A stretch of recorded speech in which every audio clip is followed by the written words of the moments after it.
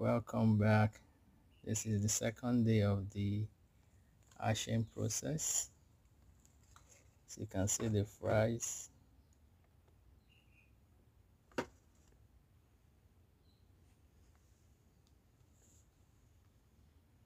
More active